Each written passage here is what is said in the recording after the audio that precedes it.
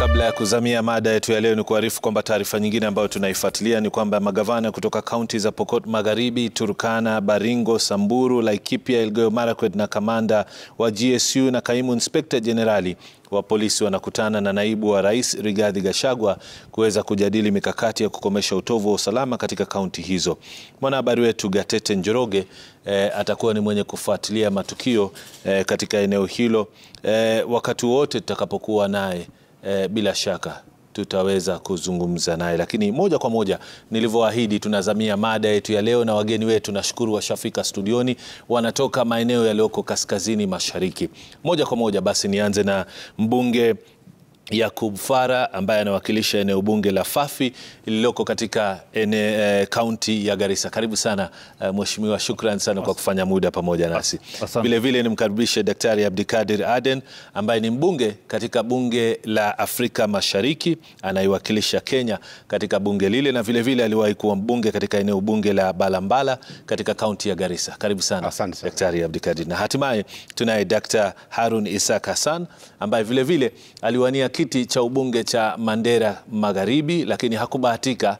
Eh, wananchi wanafikiri wamempa muda zaidi eh, kufanya mawili matatu kabla wampe ruhusa ya kuwa mwanasiasa kamili katika eneo hile, lakini anavalia kofia tofauti, mwanasiasa na vile vile mfanyi biashara. Mengi zaidi tutataka kuzungumza kuhusiana na eneo la eh, eh, eh, kaskazini mashariki, lakini pengine nianze na swali hili kwamba miaka ya nyuma katika serikali zilizotangulia nyinyi viongozi pamoja na wakazi kutoka Northeastern mlilalama sana kwamba ni eneo ambalo limetelekezwa na serikali moja baada ya nyingine baada ya nyingine. Kwa sasa hivi tunazungumzia ugatuzi ambao umekuwepo kwa miaka kumi. Mheshimiwa Yakub Fara, ugatuzi umebadilisha eneo la kaskazini mashariki ama bado mko katika ile hali miaka ya nyuma? Asante sana. Uh, suala la ugatuzi ni swala ambayo limetusikirisha sisi watu wa eneo la kaskazini mashariki. Uh, ina, ina kipimo kiwili. Kuna wale wanasema imekuwa success na kuna wale wanasema imekuwa fail, haijakuwa zuri, lakini takriban 70% asilimia sabini wanasema suala la ugatuzi haijafanya, imeleta mambo ya ukabila, ugawanyiko na pesa ambayo serikali ilituma pale imeenda kwa mfuko ya watu. Halijengi huko Garissa ama Wajia ama Mandera. Pesa zote zinachukuliwa, zinaletwa, zinaporwa, zimekuwa fursa za kupora mali ya umma Zinaporwa na viongozi zinaporwa na viongozi na marafiki zao na makatel vile wanasemanga na. So ugatuzi sisi hatuoni kabla ugatuzi, hospitali zetu zote zilikuwa zinafanya kazi huko, hata ndani ndani kabisa mashule zetu zilikuwa zinafanya kazi, kulikuwa na maji pale. Nimetoka saizi Garissa, mji wenyewe kubwa Garissa ambaye iko na e, iko na e, e, project ya water supply ilikuwa inafanya kazi. Saa hizi project hiyo yenyewe supply ya maji katika mtaa hiyo yenyewe hamna maji for the last 10 years. Hospitali yeah. kubwa ya Garissa haifanyi Garissa, hospitali ya Masalani haifanyi Garissa, dispensary haifanyi Garissa, barabara zimekufa. So zimekuwa fursa moja ya, na takriban 100 billion imeenda kwa eneo ya kaskazini kwa hizo pesa zote kwa miaka kumi. kwa hiyo miaka kumi sahizi. So hatuoni hata watu ukiona sasa ile kiti ama vio ambayo watu wa eneo kaskazini wanaangalia sana ni vio ya MP, eneo ya MP. Vio za ugavana na ugatusi wanaiona tu ni, mem, ni, ni njia moja ya kuchukua mali zao za serikali na kuzipeleka ama kuzijenga mali zingine nchini. Mheshimiwa- So zimetupeleka nyuma na imeleta ugawanyiko kubwa sana katika eneo hizo. Mheshimiwa, tarudi kwako unieleze ama ufafanue zaidi kuhusiana na tofauti ya miaka ya nyuma ambapo tunazungumzia utawala wa Moi, utawala wa Kibaki, halafu baadaye utawala wa Rais Uhuru Kenyatta ambao ndio uliokuja na ugatuzi, halafu tuzungumzie matarajio yenu ya baadaye katika serikali hii mpya. Lakini eh, Daktari Abdikadir, kwako wewe eh, najua ulikuwa mbunge katika eneo la Balambala, kaunti ya Garissa tofauti wakati huo na tofauti sasa eh, hasa baada ya ugatuzi. Manake tukizungumzia maeneo ya Garissa, Mandera na Wajir, matatizo yao ama changamoto zao ni changamoto ambazo zinalingana. Uh, kusema kweli uh, Nimrod, uh, uh, swala la ugatuzi ni swala ambayo imekuja na hisia tofauti tofauti, uh, kama alivyosema mheshimiwa hapa Eh, kuna wale ambao wanasema kwa mara ya kwanza tumepata tumeweza kupata eh, ajira na kazi kwa vijana wetu you know, katika eh, mikoa yetu, kitu ambayo zamani haikuwa inapatikana, lakini kusema ukweli eh, eh, lengo kubwa la eh, ugatuzi ilikuwa ni ya kuleta maendeleo katika hizo regions, yani pesa itoke kutoka serikali kuu na iende chini na ilete development, kitu inaitwa um, uh, development kwa um, katika regions. Kwa bahati mbaya kama alivyosema mheshimiwa, nakubaliana naye sana. Kwa miaka hizi mbili ambazo zimepita, kwa sasa hizi kumi ambazo zimepita, eh, mimi sioni kama ugatuzi katika North Eastern imefika eh, ama imeweza kutimiza mambo ambayo ilikuwa, ilikuwa Ilikuwa imetarajiwa. intended, ilikuwa imetarajiwa eh, kufanya. Kama ingekuwa imetimiza, sasa hivi hatungekuwa tunalia mambo ya maji, mambo ya wafugaji wetu e, mambo ya kusomeshwa katika watoto wetu ambao e, wengi wao wako manyumbani tu ambao wamekosa ku, e, kusoma na tumeona tu wazi wazi e, katika orodha ambazo zinatolewa kila mwaka ya counties ambazo ziko na corruptions nyingi zaidi. Kwa bahati mbaya zetu za northeastern zinakuwa zinachukua number 1 2 3 na katika development structure ya nchi kaunti gani imeendelea vizuri, zetu zinakuwa sasa the bottom inachukua sasa namba eh, 45, 46, 47. No. So ndio shida ambayo tulionayo. Uh, mimi sioni kwamba kama ugatuzi eh, imetimiza eh, malengo yake katika hii miaka kumi. No. Si atikuwa ni mag, uh, ugatuzi ni kitu mbaya, hapana. Mi naona ni kitu nzuri sana, kitu bora, lakini haikutimiza malengo ambayo ilikuwa imetarajiwa. Bila shaka nitarudi kwako baadaye munieleze, manake eh, eneo la kaskazini mashariki limekuwa likitumia demokrasia ya jamii eh, kuendeleza ama kutafuta viongozi, na pengine wale ambao wanawatazama nyinyi kutoka nje wangekuwa wanasema pengine hii ndio njia bora, pengine manake mnapofanya demokrasia ya kijamii mnamchagua mtu ambaye mshamtambua, mumeangalia maadili yake, lakini inakuwaje sasa hivi mnasema kwamba hao hao viongozi ambao wanapewa fursa zile hawatimizi haja zenu? Daktari uh, Isaac Hassan, najua katika taaluma yako udaktari na vilevile vile hata biashara. Jambo ambalo lilipewa kipaumbele katika masuala ya ugatuzi lilikuwa ni kupanua maendeleo na hatimaye kuwapa wananchi nafasi za kufanya biashara. Hilo limetimia ama mpaka sasa hivi ni vigumu kutekeleza biashara eh, mwanzo kati ya nyinyi wenyewe kwa wenyewe kama eh, wakaazi wa eneo la kaskazini mashariki na pia kufanya biashara na wenzenu ambao wako maeneo mengine nchini na hata eh, majirani kutoka sehemu za kama vile Somalia na kwingineko hata Ethiopia na kadhalika. Asante sana Nemo. Uh, asante sana waheshimiwa pia ambaye walisema vizuri no. vile uh, uh, devolution ime imeonekanwa mwaka kumi ambayo iliyopita. no. Um, kwanza kabisa saa ile devolution ilianza, wote tulifikiri kwamba kujitawala ndio kufaidika na tuendelee mbele kati ya you know, you know, yani tulikuwa tunadhani zamani huko Northeastern ilikuwa inaitwa eh, eh, NFD na upande huu ilikuwa inaitwa Kenya. So hata wafanyakazi wa serikali wakitoka huko saa ile wanakuja leave, wanasemanga wanaendanga Kenya na, na huko wakienda huko wanaenda um, um, wanaenda NFD.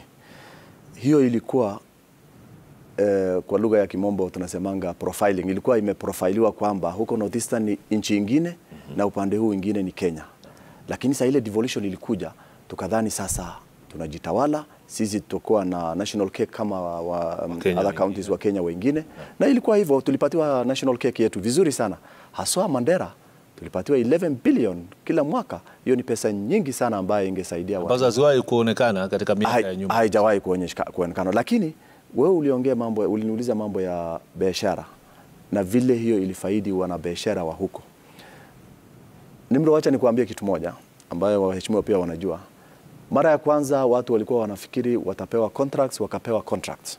Wenye walikuwa na biashara kidogo kidogo ama wale walikuwa uh, kidogo wanashinda wengine walipata contracts za county.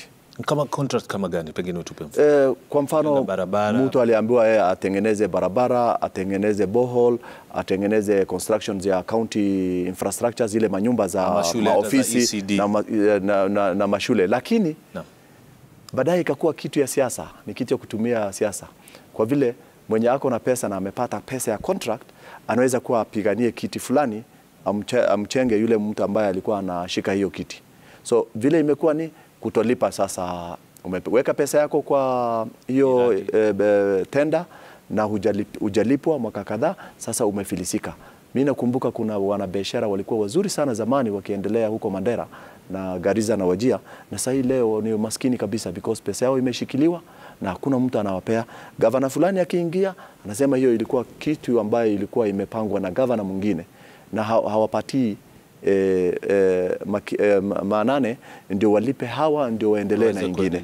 So ile shida ile iko sahii haswa wanabiashara wanaangalianga sana na wanaona ni kutolipa hiyo deni yao na kutoangalia because governor anaona ama wenye ambayo wako, wanapeana tenda wanaona kwamba wakianza kulipa ile ya zamani hawapati kitu. hawapati kitu. Ah, ah, hawapati kitu. Ni mambo ya ina, ina, ina, em, Kickbacks zile ambazo- kickbacks, yeah, ile, ile 10% hawatapata because 10% ilichukuliwa na wengine. So sasa kupeana lazima itabidi wapeane contract zingine na bado zile zingine hazijalipwa. Daktari Isaac, nitakuja kwenu, viongozi nitakuja kwenu kwa maswali mengi, hasa sekta kwa sekta, na pia ule swala la uongozi kupitia demokrasia ya jamii. Lakini kwa sasa tuelekee kidogo tu eh, kwenye taarifa kuhusiana na eh, eh, naibu rais Rigathi Gachagua ambaye anakutana na viongozi kutoka kaunti za Pokot Magharibi, Turkana, Baringo, Samburu na Laikipia, Elgeyo Marakwet kuhusiana na masuala ya usalama. Mwanahabari wetu Gatete Njoroge eh, yuko katika mkutano huo. Hebu tusikilize ni yapi yamezungumzwa ama yanatarajiwa kuzungumzwa eh, katika mkutano huo. Gatete. Naam, Nimrod, vile tu ambavyo umesema ni kuwa tuko nje ya afisi ya naibu rais uh, Rigathi Gachagua ambapo inatarajiwa afanye kikao na magavana kutoka kaunti sita ambazo zimeathiriwa pakubwa na utovu wa usalama na haswa katika lile swala la uwezi wa mifugo. Uh, na mkutano huu Nimrod unafuatia tu shambulizi lililotokea siku ya Jumamosi ambapo watu kumi na moja wakiwemo maafisa nane wa polisi waliuawa baada ya wezi wa mifugo ambao walikuwa wakiwafuata kuwashambulia na kuwaua na hata kuchukua silaha zao na pia kwe, kutoroka na mifugo ambao walikuwa wamewaiba ah, maeneo ya Turkana Mashariki. Kwa sasa Nimrod, mkutano huo bado hujaanza, kwani magavana tayari ndio wamewasili, lakini, lakini naibu rais kwa sasa yuko katika kikao cha baraza la mawaziri ambalo linaendelea katika ikulu ya Nairobi, na baada ya mkutano huo wa baraza la mawaziri, basi naibu rais ataweza kufika katika afisi yake na kuwa na kikao hicho ambacho ni cha kuwaleta tu pamoja viongozi pamoja na maafisa wakuu wa idara ya usalama akiwemo kaimu, kaimu inspekta jenerali Nur Gabo na kamanda wa GSU Douglas Kanja ambao wanatarajiwa pia kuhudhuria mkutano huo ili tu waweze kujadili ni njia gani bora ya kuweza kukabiliana na visa hivi. Lakini kwa sasa Nimrod, ni kuwa mkutano huo bado hujaanza, lakini utatarajiwa kuanza pindi tu naibu rais atakapofika hapa baada ya mkutano wa baraza la mawaziri. Lakini tu ni vyema pia tuwajulishe watazamaji wetu kuwa Nimrod, kwa sasa kile ambacho kinaendelea katika hifadhi ya, hifadhi ya chuo kikuu cha Kenyatta ni kuwa shughuli ya upasuaji ya miili ya maafisa hao nane ilikuwa ianze leo na ianze leo na kukamilika kesho ili tu waweze kujua ni ki, kipi kilichopelekea uh, kufariki kwao Nimrod. Lakini kwa sasa Nimrod, tunakita kambi hapa tukisubiri mkutano huo kuanza, wakati ambapo naibu rais ataweza kuwasili na makubaliano ambayo wataweza kuwa nayo, basi Nimrod wataweza kutuarifu, basi na sisi tutaweza kuwaarifu watazamaji na uh, haswa wakaazi wa maeneo haya ambayo yameweza kuathirika pakubwa na visa vya utovu wa usalama. Nimrod. Ama, asante, asante sana Gatete Njoroge huyo akiripoti kutoka majengo ambayo ni afisi ya naibu rais Rigathi Gachagua. Bado nikeli na wageni wangu moja kwa moja, Mheshimiwa uh, Yakub Fara, nirejee kwako, maanake tunazungumzia uh, kutafuta viongozi ambao pengine mlitarajia wataleta mabadiliko. Uh, swali ni hili, katika maeneo ya kaskazini mashariki mmekuwa mkitumia njia moja ambayo nafikiri wengine wamekuwa wakiitamani ya demokrasia ya kijamii, ambapo mnakwenda katika jamii moja hadi nyingine kuchagua viongozi ambao watakuja kurithi ama kuchukua nafasi nyadhifa za uongozi. E, kwa nini jambo hilo halijakuwa na ufanisi hasa kuleta viongozi ambao pengine wangekuwa mstari wa mbele kuleta maendeleo? Manake e, njia ya kufanya demokrasia ya kijamii inamaanisha kwamba mumempigia msasa, ni mtu mnamtambua, ni mtu amehusika katika masuala ya uongozi au biashara na kadhalika. Kwa nini ageuka kwamba wale ambao mnawaweka katika nyadhifa hizi wanakuja baadaye wanageuka nyinyi kama viongozi na wakazi na kutekeleza masuala ambayo hayawaridhishi kwa maendeleo? Eh, Asante Nimrod, hiyo suala ya negotiated democracy inaitwa negotiated democracy. Eh, ni suala nzuri sana. Eh, ikitumiwa vile inatakiwa, kwanza yataleta maendeleo, yata, yata reduce mambo ya hisia ya campaign, yata reduce mambo ya pesa, kutumia pesa kwa campaign na kuleta eh, wa viongozi wazuri, lakini yale yametokea ni wale ambayo wale council of elders, wazee wa jamii wanachagua, sio wale ambayo wangetuongoza ni pale ndo kumekuwa na shortcomings, changamoto kubwa sana. Mfano mimi sasa najitolea nichaguliwa nichaguliwe na jamii yangu, kuna vitu wanaziangalia, yale wazee wanaangalia na yale watu wa, eh, wachagu- wachaguaji wanaangalia ni tofauti. Wazee wanaangalia mfuko yao ya kwanza, ya pili wanaangalia ni nani ako na eh, jamii wengi sana pale, na inaweza kuwa huyo mtu ambaye wamemchagua jamii yake ni wengi, watapata hiyo kura, lakini sio ile ambaye anastahili kutuongoza. Kuna jamaa labda jamii yake ni wachache, lakini ako na ile qualification zote ya kutuongoza ni mtu tunamwamini, ni mtu anafanya mchapakazi, ni mtu akona sera nzuri. So yale yametokea ni kwamba wametuletea viongozi ambayo sio ambayo tumewastahili, na ni wale ambayo sasa wametuuza na, Mheshimiwa, ikiwa inaitwa democratic uh, negotiated demo Democracy. Yes. democracy Yes. inakuwaje basi kunachaguliwa watu wa kupendelewa ama kupitia uh, kununua nafasi hizi? Kwa nini basi iitwe negotiated democracy ikiwa demokrasia haitekelezwi hai- haitekelezwi? Eh, ni, ni, ni, ni vile tu wale wazee, unajua sisi tuko na structure, jamii ya Wasomali ni, ama wako wafugaji, kuna structures ya jamii ambayo zilikuwa zina exist even Kutoka before, kitambo. kutoka kitambo hata kabla hatujaanza mambo ya uchaguzi na. so yale yalikuwa yanatumia ni vile sasa since, since imekuja mambo ya uchaguzi tumejaribu kutumia hiyo structures ku strengthen hiyo democracy so that majamii kwa vile let's say sasa watu wa Garissa sasa kuna jamii tatu wanaishi pale kuna jamii wachache, kuna jamii wakubwa. So kila mtu akigombea kiti inaweza kuwa tunapata mtu ambaye si, inaweza kuwa hisia kubwa na kutokuwa na usalama.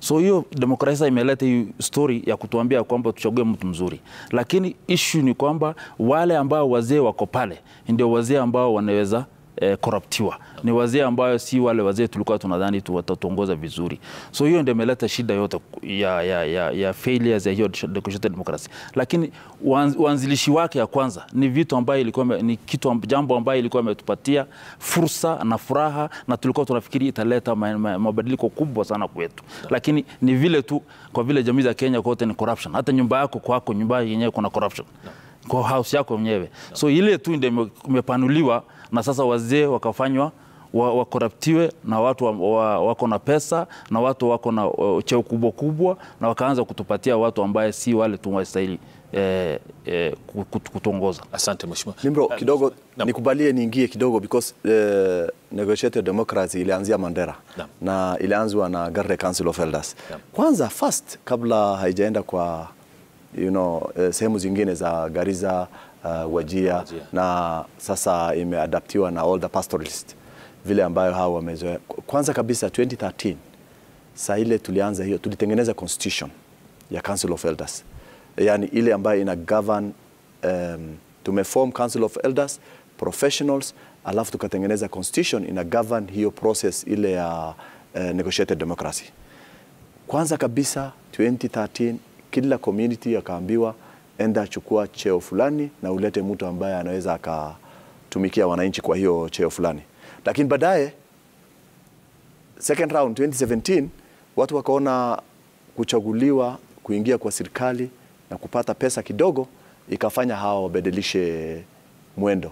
Sasa wakaanza wenye wako kwa cheo kwa kiti saa hiyo wakaanza kupiga, kupiga, kupiganana na Council of Elders decision yao, lakini ilikuwa division vile mheshimiwa alisema kwamba Council of Elders mara kwanza wengine walikuwa wazuri na walikuwa wanafanyia haki, lakini wakaanza wengine wakaanza kununuliwa na mwenye ako kwa ofisi na wengine wakabaki, wakabakishwa. Sasa wale wengi ambayo walinunuliwa ndio wakaanza kufikiria kwamba wanaweza kuharibu ile e, mpango ambayo tulikuwa tumekubaliana kwanza, ndio waende wafaulu tena wakati wa pili, ndio waendelee kupata vile ambayo walikuwa wanapata na walikuwa wamepatiwa mishahara Naam. ya ambayo wewe huwezi ukaelewa inatoka wapi. Naam.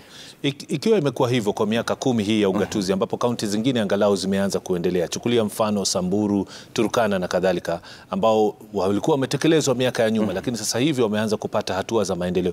Ikiwa kwenye nyinyi kwa miaka hii kumi imekuwa ya kuharibikiwa na masuala ya maendeleo, je, yapo mazungumzo ya kuondoa masuala haya, kuwa na viongozi eh, kuhusiana na demokrasia ili majukumu yao yawe tu ya kijamii, lakini yasiwe katika ngazi za uongozi? Yako mazungumzo kama hayo ama ni jambo ambalo haliwezi kuzungumziwa? Ah, maneno eh, bado watu wanazungumza kuhusu negotiated democracy na vile ambayo maendeleo ingekuja haswa tukiangalia mwaka kumi iliyopita ambaye inatusaidia tujue kwamba nini ndio haijatekelezwa na nini ndio ingetekelezwa ambaye saa hizi lazima tuipange.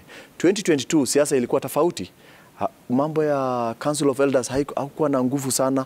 Kulikuwa na ukoo fulani tu, you know, section fulani ya um, um, um, uh, kabila ambayo wanaishi huko ndio walikuwa wamejipanga wakisema kwamba mtu fulani ndio tunaweka mahali fulani, lakini ile haswa ile inashikilia the whole clan, hiyo haikukua Sababu ili ni kwamba ukiambia mtu alete mtu hawaletangi mtu ambaye ako vile mheshimiwa alisema, hawaleti mtu ambaye anaweza kutimiza hiyo kazi, lakini wanaletanga mtu ambaye anawapatia pesa, ndio wapate pesa fulani, ndio waseme huyu ndio candidate yao.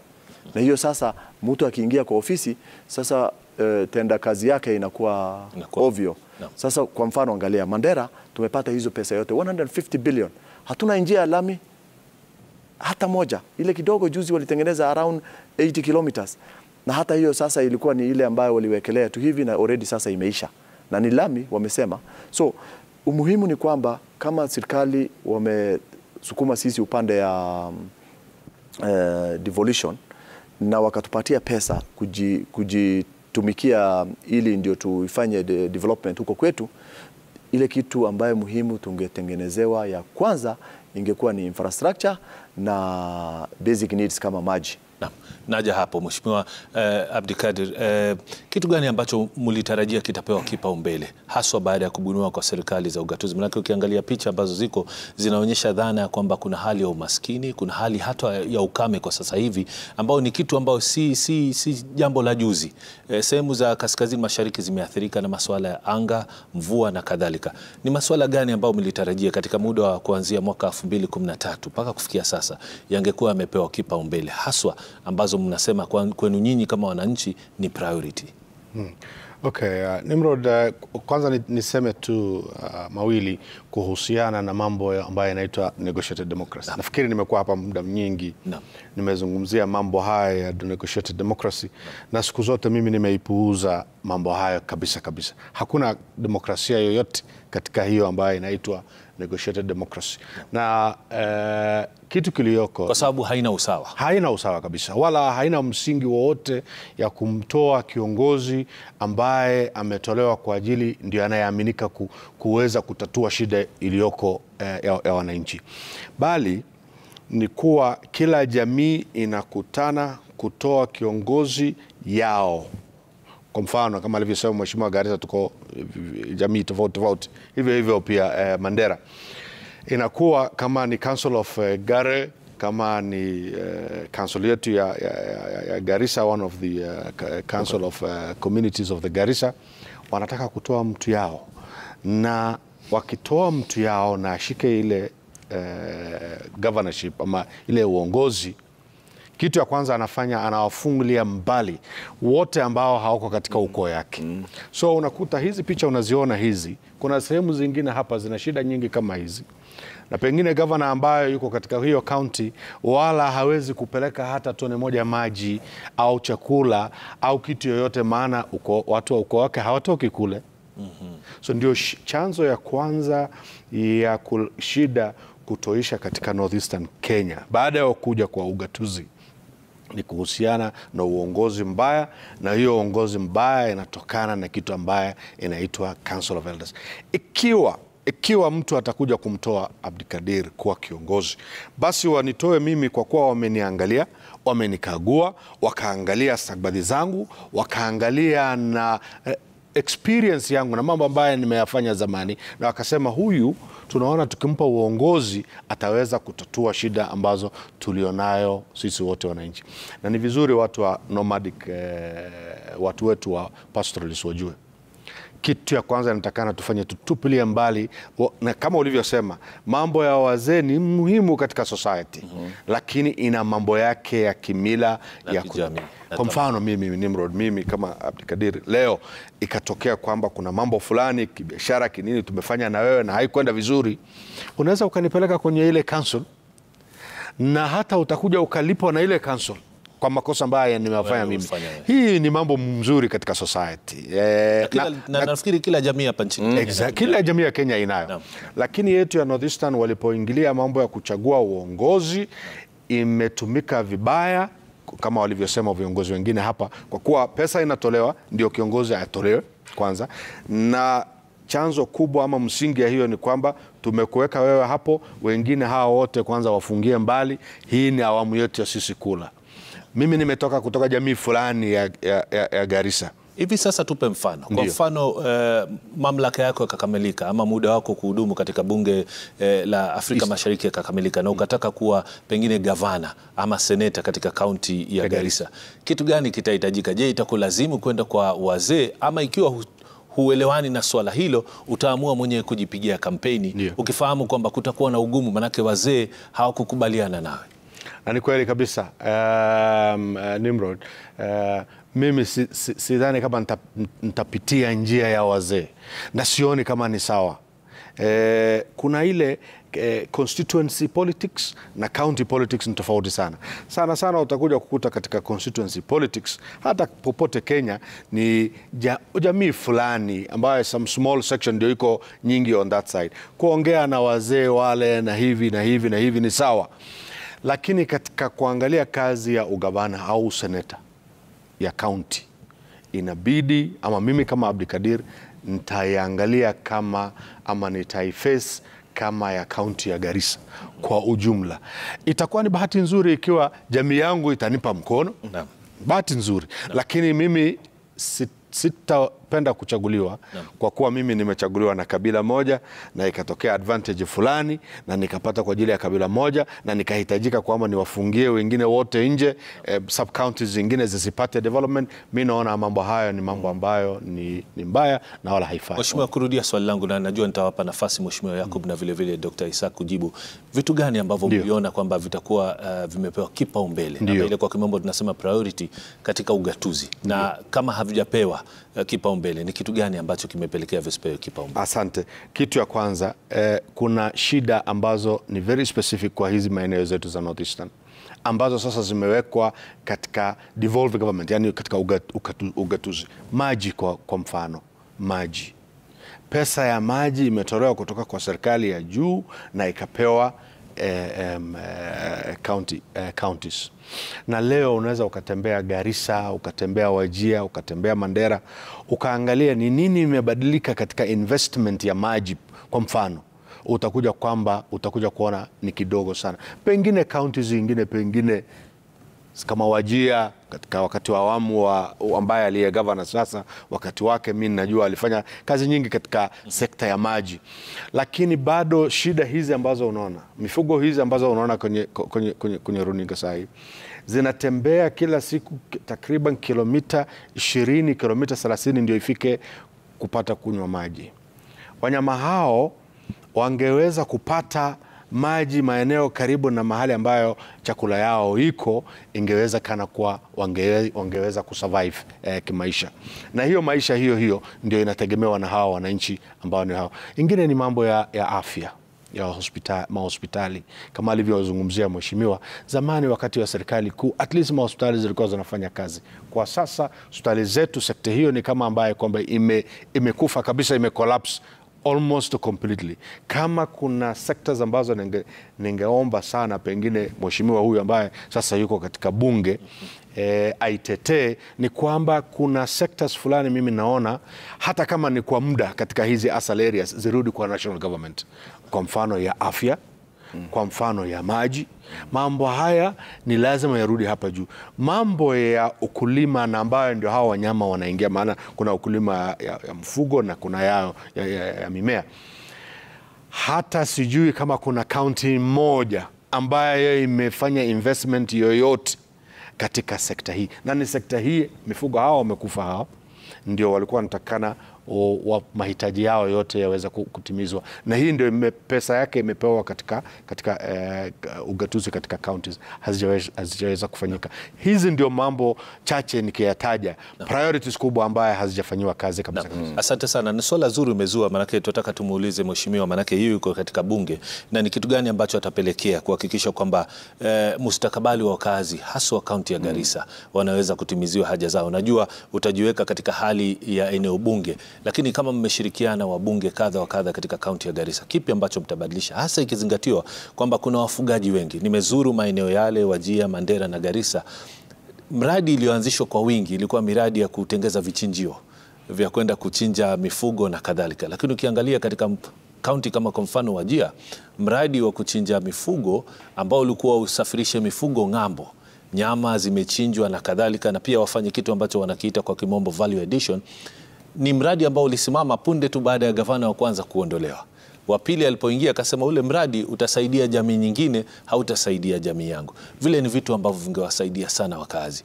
Kwa nini eh, viongozi hawaoni umuhimu wa kufanya mambo kama haya ili kuwasaidia wananchi kujiondoa katika hali ya umaskini? E, nikiyarudia yale Mheshimiwa Abdikadir alikuwa anasema kwanza, e, priorities yetu sisi ni vile alikuwa amesema ni, ni mambo ya maji na tulikuwa tunadhani na saizi suala la maji na afya imeenda kwa county devolution government. E, jambo ambalo lingelifanya ama nataka kulifanya ni ya kwamba suala ya maji na, na afya zirudi kwa national government. Nitakupa tu example moja. Pale mimi nimetoka saizi Fafi constituency. E, mfumo wa maji ambayo yanapatikana pale. For example boreholes na water pans ziko pale saizi. Zote zilijengwa na CDF karibu 48 boreholes saizi ambazo ziko eneo ya Fafi ya boreholes zimejengwa na si, Wala sio serikali Sio serikali ya ugatuzi. Water pans ziko pale saizi ni 200 and something. Out of that karibu mia moja na kitu imejengwa na CDF, wakati CDF ilikuwa inafanya kila kazi. Ugatuzi ilipoingia hizo borehole zote sasa, si kwa vile hakuna maji, lakini hizo borehole zote, mfereji zote za boreholes zinataka tu repair na maintenance, na hizo kazi ni kazi ya ugatuzi ya county government, na hawalifanyi. Wakati wa Abdikadir na wenzetu mbele walikuwa fanya CDF, kulikuwa na magari ya kusafirisha maji. Fafi constituency ilikuwa na gari nne ya kusafirisha maji kuwapelekea wafugaji. Saa hizi hata hakuna moja. County government hajaongeza. Hospitali ni vile vile. So swala ambalo ningelileta kwa bunge na wenzangu wangenisaidia ya kwamba although it's difficult, inataka referendum kwa vile ni su suala la constitution, mm -hmm. lakini kama lingeliwezekana na tu- tutajaribu kuchange acts za CDF, ni kwamba suala za maji hata kama haziwezi tolewa kutoka county government, some sections zifanywe na CDF na pora zingishwe. Hizo ndio vitu ambazo zingelifanya kwamba itekeleze.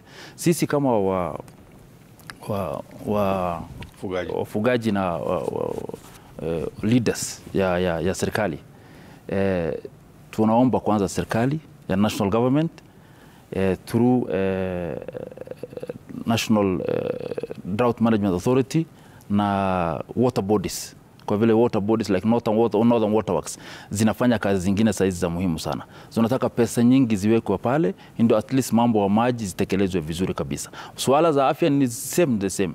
Kabla Abdikadir hajatoka Balambala ama mimi saizi kama bunge wa Fafi, vile nimesema mbeleni, hospitali zote za rural constituencies hazifanyi kazi zote. Unaona, mama anataka kujifungua anatolewa 300 kilometers na tax kuleta tu hospitali ya Garissa. Akifika anaambiwa hakuna sindano, hakuna gas, hakuna eh, panadol, hakuna kitu. Wengi walikufa kwa njiani ama walipofika katika hospitali kuu ya Garissa Referral Hospital. So ni lazima sisi kama wafugaji, ikiwa ni bunge wewe ama- kama gavana, kuna 102 bunge kutoka area ya wafugaji hizi, Kama sisi ni a third of the National Assembly, kama sisi tungekutana na tupeleke swali letu iende eh, kwa bunge na tuisupport kabisa, kwa vile asal areas even Nyeri is included there tupeleke hizo maswali za land livestock management water and those things, nafikiri tungekuwa na tatizo, tungetatua tatizo la shida na, ya maji na afya zote. Na, Asante sana mheshimiwa, asante sana mheshimiwa Abdikadir na bwana Isaac. Najua nitarudi kwetu, tunakwenda mapumzikoni kidogo tu, lakini kama unavyosikia viongozi wakieleza bayana tu matatizo ambayo yanakera katika eneo la kaskazini mashariki, lakini pia tutakuwa tunajaribu kutafuta suluhisho, ni kipi kinaweza kutekelezwa. Pengine tutakuwa tunaungana na wananchi kutoka sehemu za Garissa na vilevile vile Ikiwa muda utaruhusu, lakini mengi zaidi kutoka kwa viongozi wangu ni hivi punde. Usiondoke hapo ulipo.